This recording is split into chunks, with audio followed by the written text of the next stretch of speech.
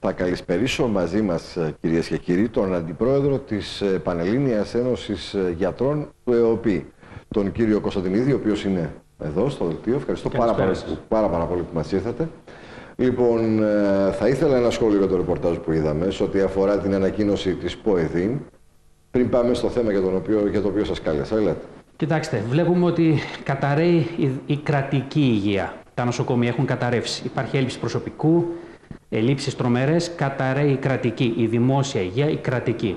Εμείς είμαστε και εμείς δημόσια υγεία, ιδιωτική. Και εμείς, ε, για την ακρίβεια, εμείς προσφέρουμε δημόσια δωρεάν υγεία. Έρχονται, είμαστε συμβουλημένοι γιατροί γύρω στις 6-7 χιλιάδες σε όλη την Ελλάδα και έρχονται οι ασθενείς και βρίσκουν την υγεία τους σε εμάς δωρεάν. 200 ραντεβού, όπως ξέρετε, ε, το μήνα έχουμε δικαίωμα να δούμε. 20 την ημέρα υπάρχει και ένα άλλο όριο.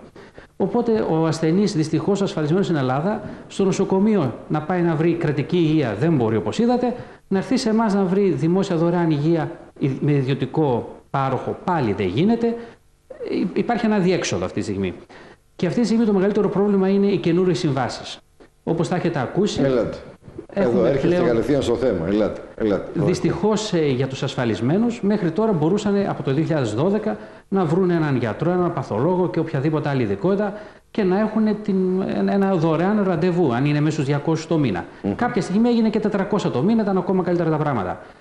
Αντί το Υπουργείο να έρθει σε συνεννόηση μαζί μας, να δούμε να βελτιώσουμε αυτό το σύστημα της πρωτοβάθμιας φροντίδας υγείας, να το κάνουμε καλύτερο. Δυστυχώς δεν μας έχει δεχτεί, δεν ε, προσπαθήσαμε πάρα πολλές φορές. Δυστυχώς δεν έχουμε πάει στο Υπουργείο. Από το 2015 που πήγαμε μια φορά, μαζέχθηκε ο κύριος Ξανθός, από τότε δεν ξαναπήγαμε. Οπότε πριν από ένα μήνα βγάλαν μια ανακοίνωση και είπαν ότι από εδώ και πέρα αλλάζει το σύστημα. Δεν θα έχετε τον γιατρό που είχατε μέχρι τώρα. Βγάλανε στον αέρα κάποια αίτηση, κάποια πρόσκληση ενδιαφέροντος προς τους γιατρούς, μόνο προς τους παθολόγους, γενικούς γιατρούς και παιδιάτρους, τους οποίους ονομάσαν οικογενειακούς γιατρούς. Οικογενειακούς γιατρούς. Ναι. Και εμείς είμαστε οικογενειακοί. Εγώ είμαι ορθοπαιδικός και εγώ οικογενειακός είμαι. Όλη η οικογένεια έρχεται σε μένα. Ονομάσαν οικογενειακούς αυτούς τους τρεις, παθολόγο, παιδίατρο, γενικό γιατρό, και είπαν: Ελάτε να συνάψουμε μια σύμβαση. Ε, θα σας δίνουμε περίπου 1.600 ευρώ το μήνα μεικτά, αν σας δηλώσουν 2.250 ασφαλισμένοι ε, το τι θα πρέπει να κάνετε, το πότε θα πάρετε άδεια δεν τα ξέρουμε ακόμα. Θα, θα συνονοηθούμε. Υπογράψτε στη σύμβαση εν λευκό ουσιαστικά και θα δούμε στην πορεία ποια θα είναι ακριβώς η σύμβαση.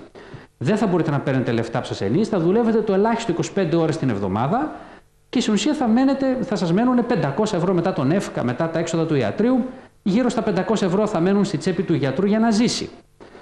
Αυτό είπε το Υπουργείο. Ζήτησε 3.000 περίπου γιατρούς. Ε, εμείς το είπαμε ότι δεν θα βρει 3.000 γιατρούς, βρέθηκαν κάπου 800 σε όλη την Ελλάδα, ε, έδωσε παράταση άλλες 12 μέρες, η παράταση λίγη σε λίγες μέρες, 12 του μήνα λίγη. Δεν βλέπουμε να υπάρχουν παραπάνω αιτήσεις από γιατρούς. 800 οι οποίοι προ, προφανώς είναι και νέοι συνάδελφοι είναι νέοι γιατροί. που δεν έχουν συγκεκριμένο και οργανωμένο πελατολόγιο είναι νέοι γιατροί, είναι γιατροί που αναγκάζονται γιατί είναι δύσκολες οι συνθήκες στην εποχή μας και σκέφτονται από το να φύγουν στο εξωτερικό. Γιατί αυτή τη στιγμή οι περισσότεροι νέοι γιατροί φεύγουν στο εξωτερικό. Έχουν φύγει 20.000 γιατροί από του 70.000 της χώρας μας. Ε, από το να φύγουν σκέφτονται να ξεκινήσουμε 500 ευρώ. Βέβαια στην πορεία εμείς είμαστε σίγουροι ότι και αυτοί θα αγανακτήσουν, δεν θα φτάνουν αυτά τα λεφτά και θα φύγουν. Αλλά και να μπουν 800 γιατροί, δεν θα έχει ο ασφαλισμένος γιατρό. Στην ουσία από το Μάρτιο ο ασφαλισμένος δεν θα έχει τον παθολόγο του να πάει να γράψει τα φάρμακα, να τον εξετάσει, δεν θα τον έχει. Διότι 800 γιατροί δεν μπορούν να καλύψουν όλη την ανάγκη της χώρας, 10 ε, εκατομμύρια Έλληνες. Έκαναν την προσπάθεια με τα τόμοι που δεν τους βγήκε, με τις κρατικές ε, δημόσιες ε, ε δομές υγείας, δεν πήγαν εκεί οι γιατροί και εκεί ήταν ο μισθός κάπου τόσο γύρω στα 1500 ευρώ, αλλά δεν πήγαν οι γιατροί. Δεν τους βγήκε μετατόμη, προσπα... ανοίξανε ελάχιστα, όπως ξέρετε, στη Θεσσαλονίκη ανοίξανε 5-6, αλλά δεν φτάνουν αυτά. Τώρα καταλαβαίνετε, το κάθε γιατρός είναι για 2.250 ασφαλισμένους. Δεν προλαβαίνει, δεν μπορεί να έχει παραπάνω ασφαλισμένους. Και περιμένουμε τώρα τι θα γίνει από το Μάρτιο. Ο κόσμος θα αγανακτήσει. Προβλέπουμε ότι αν κοπούν οι συμβάσεις, δεν θα έχει ο κόσμος να πάει σε γιατρό. Τώρα, καλό προαίρετα, εγώ θα ρωτήσω, έχετε ζητήσει, έχετε, έχετε ζητήσει συνάντηση με τον Υπουργό για να μιλήσετε για την ουσία των προβλημάτων αυτών; Έχετε κάνει έστω μια επιστολή που να γνωστοποιείτε αυτά τα πράγματα στον αρμόδιο Υπουργό. Ελάτε. Έχουμε ζητήσει πάρα πολλές φορές συνάντηση. Έχουμε καταθέσει αίτηση για συνάντηση στο Υπουργείο και με τους δύο υπουργού. Δεν ε, μας ακούνε, δεν μας δέχονται να μας δουν στο Υπουργείο καν. Στις επιστολές έχετε πάρει απάντηση; Όχι, τίποτα. Καμία απάντηση. Έχουμε βγάλει δελτία τύπου ως Ένωση Συμβελημένων Γιατρών. Ε, καμία απάντηση, τίποτα. Δεν ασχολούνται μαζί μας. Mm-hmm. Δεν μας θέλουν βασικά. Θέλουν να υπάρχει μόνο κρατική δομή. Τύπου τόμη, τύπου παλιά ήταν το ΙΚΑ. Βέβαια, πλέον είμαστε το 2018. Ο λαός έχει γυρίσει πίσω. Δεν, δεν γυρνάει πίσω στα ΙΚΑ ο λαός. Ο λαός, έχουμε κάνει και εμείς δημοσκοπήσεις, έδειξε ότι θέλει συμβεβλημένο γιατρό. Θέλει να πηγαίνει δωρεάν σε ένα ιδιωτικό ιατρείο και να του προσφέρονται οι ιατρικές υπηρεσίες. Το μόνο που μπορούμε έχουμε έτσι, να μας ακούσει κάποιος είναι ο πρόεδρος του ΕΟΠΗ, ο κ. Μπερσίμες, ο οποίος βέβαια δεν είναι υπουργός, δεν βγάζει αυτό τους νόμους. Ο οποίος μας άκουσε, μας είπε πώς είναι η νέα σύμβαση περίπου, γιατί ακόμα δεν ξέρουμε και ακριβώς. Όταν θα υπογράψουμε θα τη μάθουμε. Και του είπαμε ότι με αυτές τις συνθήκες δεν θα βρείτε γιατρούς. Τι θα γίνει από 1η Μαρτίου, τίποτα. Οι υπουργοί δεν λένε κάποια απάντηση. Περιμένουμε να δούμε και τις συμβάσεις για τους άλλους γιατρούς, για τις άλλες ειδικότητες. Αυτό το μόνο που ξέρουμε είναι ότι θα είναι περίπου ε, 3-4 ευρώ ανά ασθενή. Θα δίνουν. Τώρα δίνουν 10 ευρώ. Ε, ναι, και όμως θα δίνουν 3 ευρώ ανά ασθενή. Δηλαδή εκεί κατάντησε. Θεωρούν ότι ξέρω εγώ, η ζωή κοστίζει 3 ευρώ. Προφανώς αυτό θεωρούν από το Υπουργείο.